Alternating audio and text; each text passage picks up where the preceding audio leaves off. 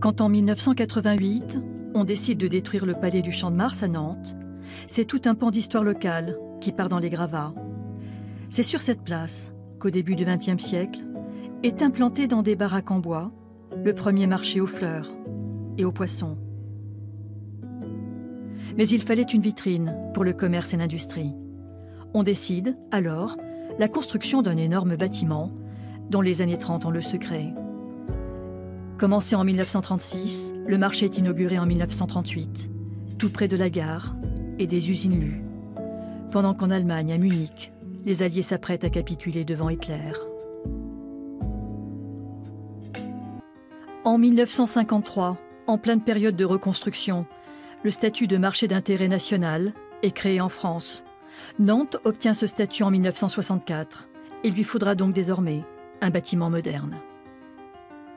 Il s'agit en vérité euh, d'un service public, donc d'une entreprise qui n'est pas à but lucratif, mais qui n'a pas d'autre ambition que de mettre à la disposition des professionnels un outil correspondant à leurs besoins.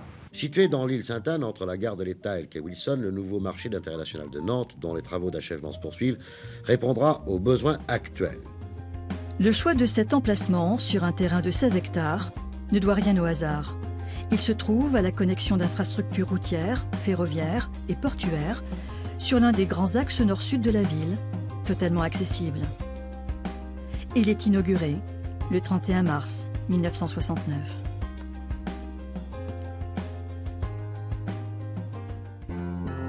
Ce 27 octobre 1970, à la première heure, c'est le premier jour de vente du gibier pour les commerçants et les restaurateurs.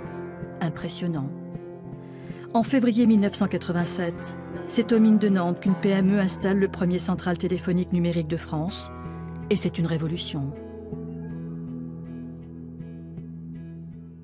Vu les ventes qui se font à 75% au téléphone, euh, il est nécessaire d'avoir un matériel performant pour euh, appeler, euh, pour éventuellement avoir deux communications en parallèle. C'est nécessaire pour les, les cours qui varient et beaucoup de choses qui en découlent. Les systèmes numériques évolutifs permettront dans quelques années, avec les moyens des télécoms, d'amener chez un client véhiculé dans le même tuyau euh, des données, 1 ou 0.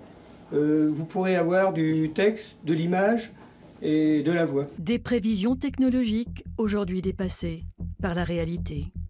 En 1989, sur 6500 mètres carrés, est ouvert le premier marché aux fleurs.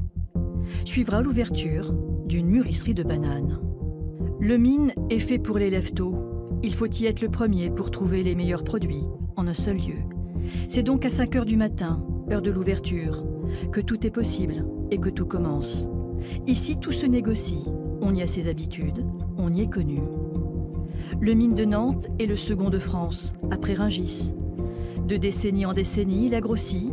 Son dernier déménagement va en faire un outil majeur de la filière agroalimentaire du Grand Ouest.